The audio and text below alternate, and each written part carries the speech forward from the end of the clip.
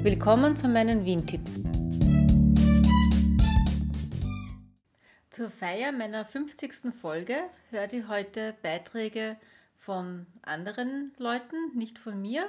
Und zwar von der Raffaela, ein Spaziergang durch die Innenstadt von Wien, den sie schon mit ihren Kindergartenkindern gemacht hat, auch mit einem kleinen Quiz für die Kinder. Dann vom Marcel über das Museum Time Travel Vienna. Dann ein Stadtspaziergang von der Grete, den sie auch schon für ähm, Sponsoren oder, oder Spender des Blindenverbands durchgeführt hat. Dann ein Beitrag von meinem Vater über den Baumgartner Friedhof und zum Schluss vom Andreas über ein Lokal im zweiten Bezirk, wo man nord norddeutsche Küche essen kann. Also als erste kommt jetzt die Raffaela. Hallo ihr Lieben, mein Name ist Raffaela und hier kommt mein Wien-Tipp für euch. Ich arbeite im Kindergarten und habe ihn mit ein paar Kindern im Alter von fünf bis sechs Jahren schon gemacht. Er führt vom Stephansdom zur Oper und davor habe ich die Route mal äh, abgegangen und mir ein paar Quizfragen für die Kinder zusammengestellt, damit das Ganze noch spannender wird. Also, wie gesagt, wir starten beim Stephansdom und schauen uns mal um, was es dort alles gibt. Es gibt zum Beispiel diesen Brotleib an der Stephansdommauer beziehungsweise die beiden Maße für Stoffe, die Ellenmaße, die eben früher dazu da waren, um dort die Stoffe zu messen, die Längen zu messen. Ähm, ich habe mir im Vorfeld dazu auch ein paar Geschichten für die Kinder überlegt, die ich ihnen dann erzählt habe, damit sie in etwa Bescheid wussten, worum es dort geht. Vom Stephansplatz gehen wir ein Stückchen weiter, denn auf der rechten Seite vom Stephansdom, da befindet sich ja das Modell des Stephansdoms. Auch sehr interessant, vor allem für blinde Jung und, und äh, Sehbehinderte, den kann man natürlich dort auch gut anfassen. Für Sehende aber auch sehr interessant, weil man dort wirklich einmal von oben auf den Stephansdom blicken kann. Weiter geht es über den Stephansplatz zum Stock im Eisenplatz. Auch hier habe ich für die Kinder bereits im Vorfeld eine Geschichte herausgesucht, damit sie da auch wussten, was der eigentlich zu bedeuten hatte. Ähm, weiter geht es dann am Graben entlang zur Pestsäule. Hier kann man auch wieder eine Geschichte erzählen, gibt es genug darüber. Und weiter dann über den Graben und den Kohlmarkt bis zum Michaelerplatz und zur Hofburg. Wenn ihr bei der Hofburg geradeaus weitergeht, immer geradeaus weitergeht, kommt ihr zum Heldenplatz. Auch schön anzuschauen und für Kinder sicher auch nicht uninteressant, aber auch für Erwachsene gibt's hier allerlei zu entdecken. Geht wieder zurück zum Michaelerplatz und dreht euch nach rechts. Vorher aber noch ein bisschen auf die andere Seite geschaut, vielleicht auf der spanischen Hofreitschule einen Besuch abstarten, wenn das wieder möglich ist. Im Moment natürlich nicht, aber irgendwann wird's ja wieder gehen. Geht also wieder zum Michaelerplatz zurück und die Reitschulgasse entlang über den Josefsplatz und die Albertinergasse bis zur Oper. Die Oper lässt sich auch gut von außen besichtigen. Innen drinnen ist wahrscheinlich für Kinder noch nicht so spannend, es sei denn, ihr wollt unbedingt eine Aufführung besuchen. Aber wie gesagt, wir gehen ja einfach nur den Weg ab. Ähm, wenn ihr mögt, könnt ihr dort dann mit der U1 oder U2 weiterfahren, zurückfahren oder auch über die Kärntner Straße wieder zurück zum Stephansdom spazieren. Eine zweite Möglichkeit wäre hier bei mir noch, ihr startet wieder beim Stephansdom, schaut euch wieder von außen alles an, geht vielleicht einmal rundherum und schaut euch das Modell des Stephansdomes an, geht weiter zur Pestsäule und von der Pestsäule zurück zum Stock im Eisenplatz, geht über den Stephansplatz drüber zur Roten Turmstraße und diese entlang, bis ihr links den Lichtensteg seht oder die Straße abgeht. Von dort über den Hohen Markt und einmal um den Block herum kommt ihr zum Hohen Markt bis zur Ankeruhr. Für die Ankeruhr gibt's auch eine Geschichte. Ich habe den Weg nicht gemacht, aber ist sicher nicht unspannend, was es darüber zu erzählen gibt. Dann, wer noch möchte, kann von der Ankeruhr weitergehen zur schönen Laternengasse. Dort gibt es eine ein Modell zu besichtigen der ersten elektrischen Straßenlaterne, die oben an der Mauer hängt. Und auch von dort wieder zurück zum Stephansplatz, die Pestsäule noch einmal besichtigen, wenn die Kinder noch interessiert sind. Und dann wieder zurück zur U-Bahn. Ähm, ich habe gesagt, am Ende oder am Anfang besser gesagt, ich habe für die Kinder ein Quiz zusammengestellt und begonnen habe ich das Ganze so, dass wir beim Stephansplatz erst gar nicht über die Rolltreppe hinauf sind, sondern uns sozusagen das Innenleben des Stephansplatzes, die U-Bahn-Station angeschaut haben. Es gibt für nämlich auch Stufen nach oben, die dann über Schleichwege wirklich hinauf zum Stephansplatz führen. Ich habe die Kinder vorhin äh, aufgefordert, diese Stufen zu zählen, was nicht so leicht war, aber manche haben es doch ganz gut getroffen. Ähm, mehrere Fragen noch waren zum Beispiel, wie viele Fahrzeuge hast du in, in der Innenstadt gesehen oder welche Fahrzeuge hast du gesehen? Hast du die braunen Schilder, die mit den gehenden Männchen bemerkt, die zu bestimmten Sehenswürdigkeiten führen? Welche Farbe haben die Lipizzaner oder hast du, welche Farbe hat die Kuppel in der Hofburg? Ähm, was hast du in der Hofburg noch gesehen im Innenhof? Und ja, eine Scherzfrage auch noch, hast du vielleicht die Nägel beim Stock im Eisenplatz gezählt? Ist natürlich nicht möglich, weil es viel zu viele sind. Ja, wie gesagt, ich habe die Runde mit den Kindern genossen. Die hatten ihren Spaß. Ich habe die Gruppe zweigeteilt und die Leute, die uns gesehen haben, haben sich äh, amüsiert dazugestellt und zugehört, was ich hier den Kindern so über bestimmte Dinge erzählt habe. War wirklich lustig und für Kinder, die ähm, fit genug sind, den ganzen Weg auch durchzuhalten. Es ist nicht allzu lang, ich glaube maximal 45 Minuten, wenn man zügig durchgeht, beziehungsweise auch nicht überall stehen bleibt. Aber diese alten Gemäuer und Gebäude sind wirklich interessant und auch für einen Erwachsenen im Moment mehr für Sehende, muss ich sagen, was ein bisschen schade ist, weil man nicht alles anfassen darf. Aber auch mir sind wieder Dinge aufgefallen, die ich dann auch meinem Mann, der dankenswerterweise den ersten Rundgang mit mir gemacht hat, den ich dann zusammengestellt habe für die Kinder, konnte ich doch einiges erklären. Und ich glaube, er hat sich sehr darüber gefreut, das mit mir zu machen. Danke an Marcel, dass du das mit mir gemacht hast. Und euch wünsche ich vielleicht, wenn ihr den Weg machen solltet, ganz, ganz viel Spaß damit. Und ja, macht's gut und bis zum nächsten Mal beim nächsten Wien-Tipp. Im nächsten Beitrag erzählt der Marcel vom Time Travel Vienna im ersten Bezirk. Ich bin dort noch nicht gewesen, aber ich glaube, ich werde mir das auch einmal anschauen. Hallo, liebe Wien-Besucher, in Wien lebende und diese, die es einmal werden wollen. Mein Name ist Marcel Franke und ich habe heute einen kleinen Wien-Tipp für euch. Wenn ihr einmal durch 2000 Jahre Wiener Geschichte reisen möchtet, wenn ihr einmal die Vergangenheit bis in die Gegenwart erleben möchtet, dann seid ihr im Time Travel Vienna in der Habsburggasse 10a ganz richtig. Die Habsburggasse befindet sich unweit des Wiener Stephansplatzes und man kann mit öffentlichen Verkehrsmitteln sehr gut dorthin kommen. Was ist das Time Travel Vienna? Das Time Travel Vienna ist ein Indoor-Museum und dieses Museum beinhaltet eine etwa 50-minütige Führung, die man natürlich auch mit ganz vielen Effekten besuchen kann. Man reist durch 2000 Jahre Wiener Geschichte und lernt die Wiener Persönlichkeiten wie Sissi und Mozart dort kennen. Ihr habt dort eine 5D-Kino-Animation, aber auch für blinde und sehbehinderte Menschen ist das Time Travel Vienna auf jeden Fall ein Erlebnis, weil man ganz, ganz viel hören und spüren kann. Ihr könnt zum Beispiel in einen Luftschutzkeller des Zweiten Weltkriegs gelangen und dort einen Angriff der Alliierten miterleben, was vielleicht ein nicht so schönes, aber doch denkwürdiges Ereignis ist.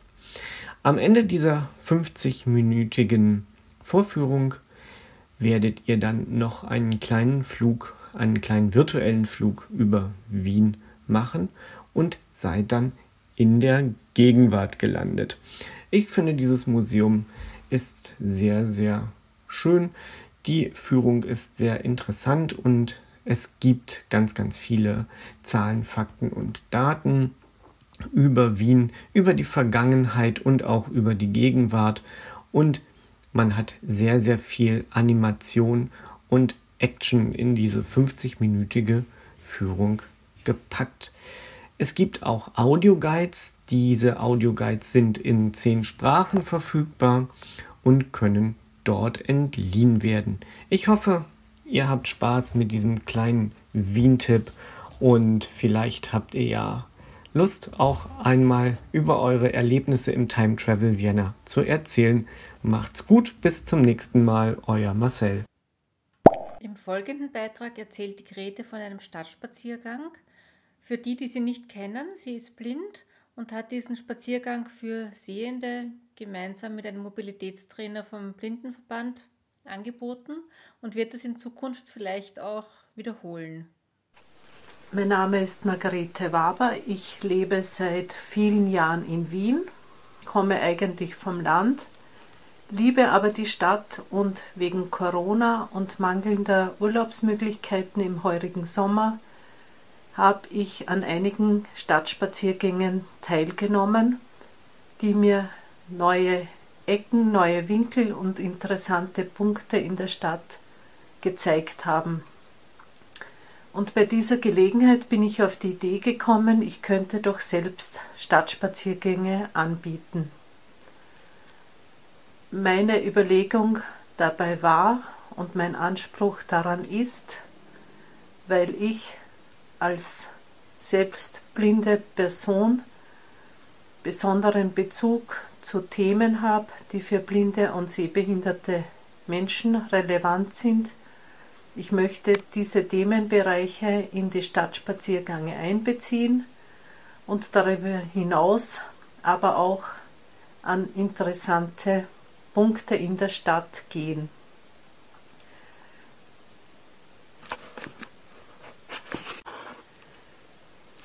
Ich nehme Bezug zu blinden und sehbehinderten Personen, die in der Stadt gelebt haben oder irgendeine Verbindung zum Thema Blindheit oder Sehbehinderung haben oder hatten. Ich und wir gehen beispielsweise zu Bereichen, wo man gute Informationen für Orientierungsmöglichkeiten von blinden und sehbehinderten Menschen haben, wie zum Beispiel akustischen Ampelanlagen oder vielleicht auch taktilen Bodeninformationen, taktilen Beschriftungen, Modellen von Gebäuden, Reliefdarstellungen, beispielsweise in Museen oder auch in anderen Bereichen und ähnliches. Was mir noch wichtig ist, ist die Selbsterfahrung von Teilnehmerinnen der Stadtspaziergänge. Ich möchte Menschen, die daran teilnehmen, besonders einbinden und die Möglichkeit geben, mit blinden Langstöcken beispielsweise entlang von taktilen Bodeninformationen zu gehen oder auch die Wahrnehmung zu schärfen in verschiedenen Umgebungsbereichen, beispielsweise akustische Ampeln zu hören oder verschiedene akustische Eindrücke in weiten Bereichen auf Plätzen oder in engen Gassen. Ich möchte darauf hinweisen, wie viele Dinge man auch erkennen und wahrnehmen kann, ohne sie zu, zu sehen, dass man eine Bäckerei finden kann, weil man diese riecht, dass man riechen kann, wenn man an einer Apotheke vorbeigeht und ähnliches. Ich möchte Sie aber auch mitnehmen zu ganz interessanten sonstigen Punkten in der Stadt, Ich möchte mit Ihnen beispielsweise vorbei am ersten Wiener Wohnhochhaus gehen. ihnen Hinweise geben auf einer Kirche, unter der sich eine Gruft befindet, wo man noch sehr gut erhaltene Mumien besichtigen kann. Ich möchte Ihnen die erste Wiener Bedürfnisanstalt zeigen, die sich mitten in der Wiener Innenstadt befindet und die sehr modern ausgestattet ist und die man auch jederzeit heute noch besuchen kann. Ich möchte Ihnen ein Modell des Stephansdoms zeigen und vieles andere mehr. Wie Sie sehen können, sollen meine Stadtspaziergänge eine Verbindung zwischen interessanten Punkten in der Stadt und speziell Dingen, die für blinde und sehbehinderte Menschen besondere Bedeutung haben und die auch für sehende Menschen sehr interessant sind, zeigen.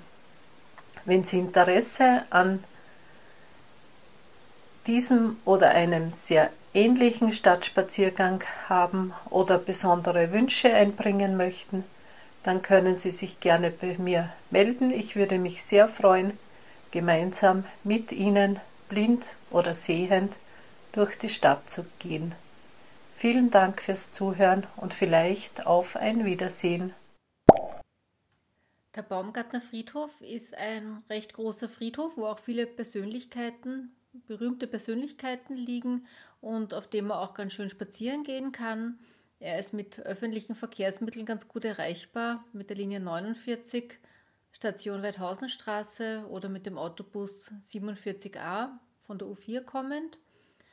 Und ja, und jetzt gibt es ein paar Informationen dazu. Der alte Baumgartner Ortsfriedhof befand sich in der Gegend Hütteldorfer Straße, Seckendorfgasse, an der Stelle der heutigen, des heutigen städtischen Altersheims. Er wurde im Jahr 1896 aufgelassen.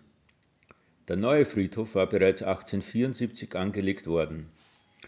Im Jahr 1876 überführte man die auf dem Schmelzer Friedhof begrabenen Leichen der drei Gemeinden Fünfhaus, Sechshaus und Rublosheim hierher.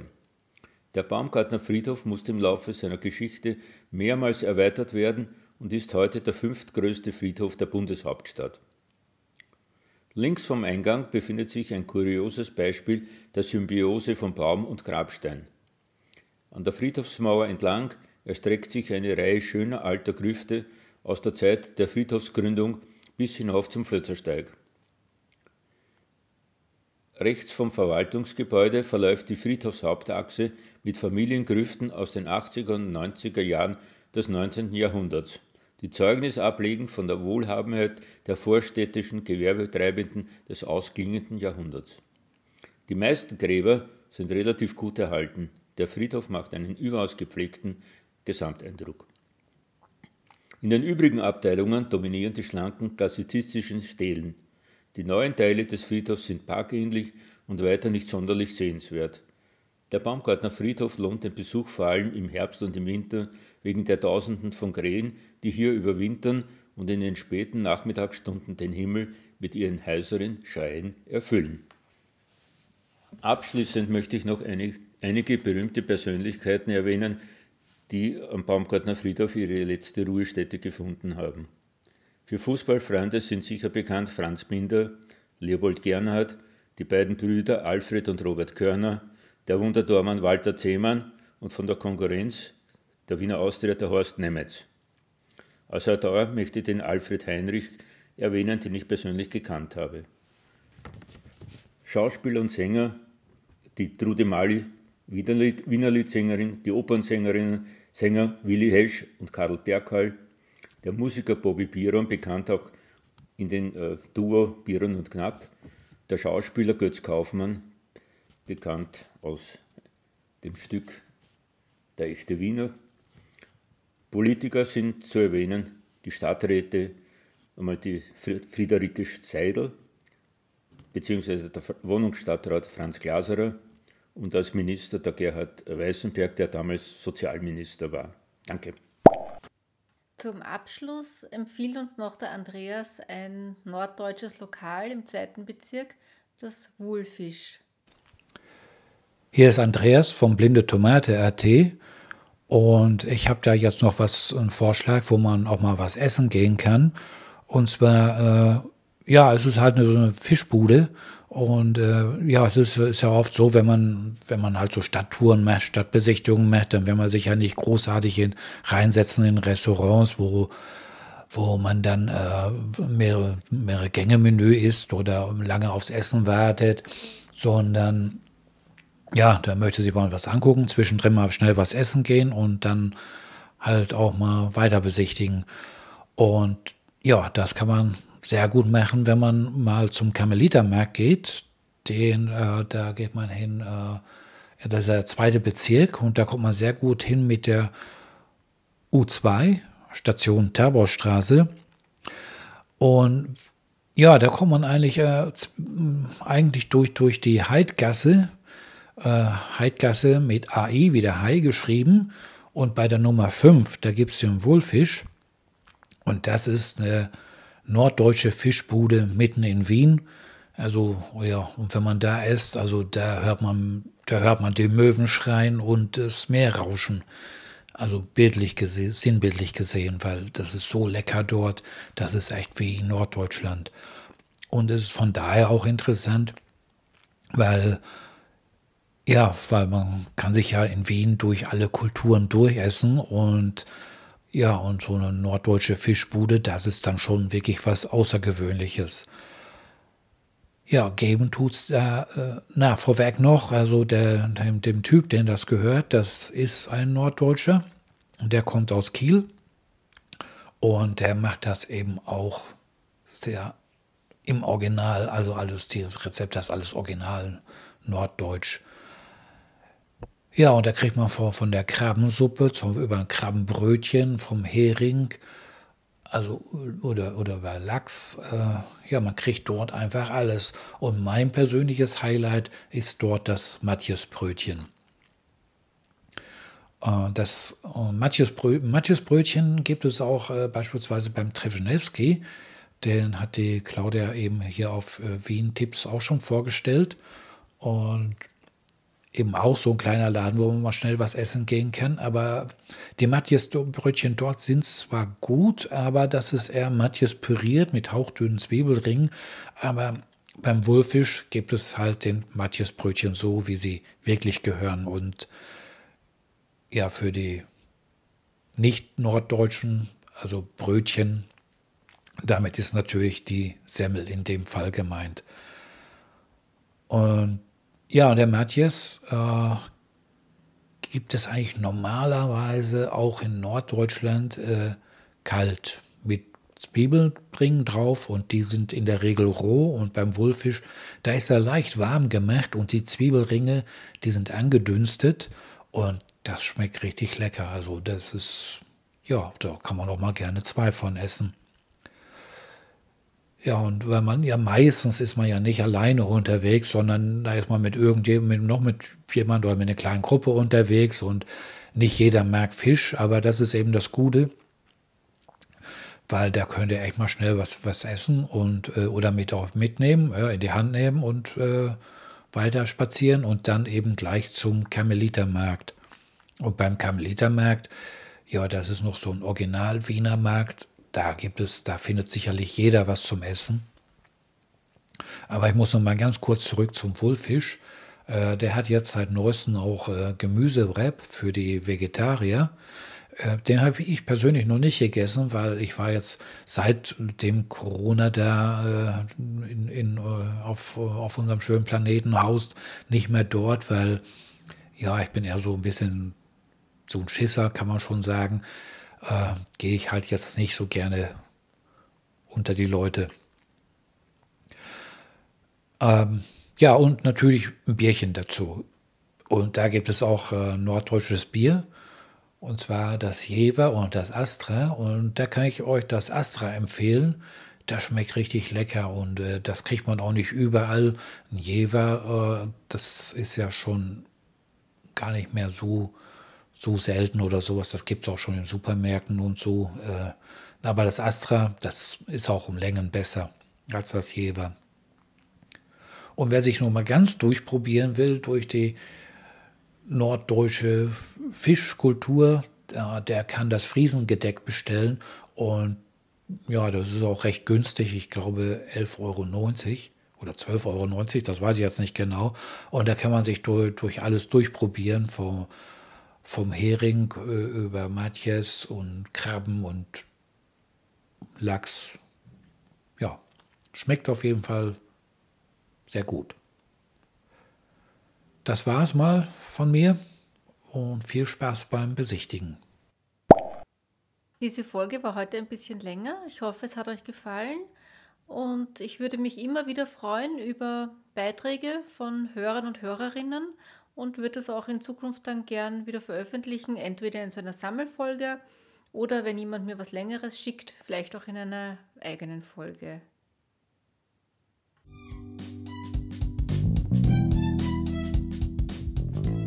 Danke fürs Zuhören und bis zum nächsten Mal.